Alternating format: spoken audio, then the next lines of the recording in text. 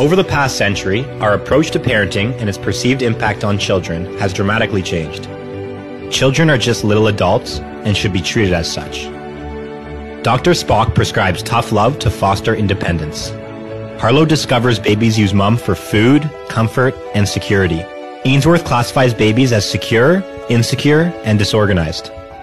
Attachment in infancy is the bond or tie between an infant and their caregiver. This bond endures over time and space, and it is a primary means by which an infant downregulates stress. Babies do experience stress, despite popular belief to the contrary, and it's up to the caregiver to modulate that stress.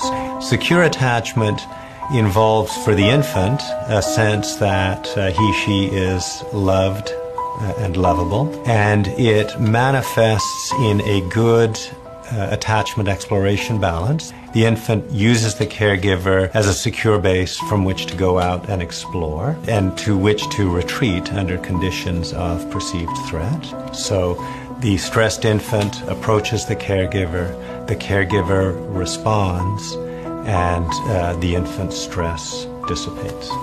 The infant's biology is very much attuned to the behavior of the parent to the point where secure attachment evolves in a child with a parent who is consistently sensitive.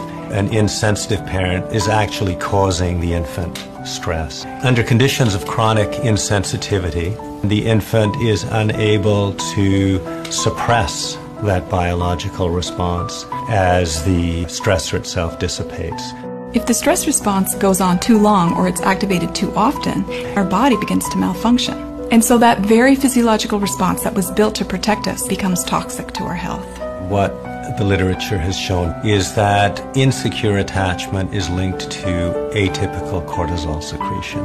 Insecure babies more often have common colds, more often see their GPs or pediatricians, etc. Insecure attachment has been linked to all kinds of negative outcomes throughout the lifespan. It's been linked to depression, withdrawal, anxiety, aggression, and a host of physical disease outcomes.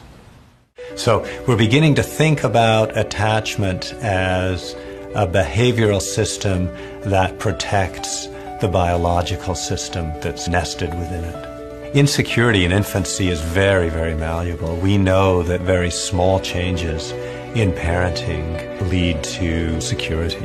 There are several ways that a parent can optimize their relationship with the child and reduce that child's stress level. First and foremost, a parent needs to be sensitive. That is, they need to respond to their infant's bids for affection in a timely, a warm, and a consistent manner. They need to scaffold the child. They need to protect the child from stressors that the child is too young to handle. They need to balance their own needs with those of their child. So uh, they need to take the time that they need to recharge themselves. And uh, they need to attend to the needs of the couple, the parental couple. A couple that is not satisfied with their relationship will not be able to parent as well as a couple that is uh, satisfied with their relationship. And perhaps most of all, they need to enjoy their child and to express that both implicitly and explicitly. When a parent enjoys their child, the child knows that they are enjoyable